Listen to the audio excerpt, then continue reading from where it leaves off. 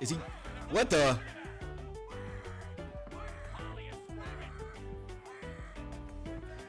It's me. I heard like, dang. Now that we look back at it, you know, probably sticking my fingers down another man's throat till he gags probably was a kind of. it was probably just a kind of little. Just you know what? You know what? Was a different era back then. You had people, um, you had dudes legit wearing tank tops and short shorts. It was during that era. So um, it was you know they, they kind of turned the other cheek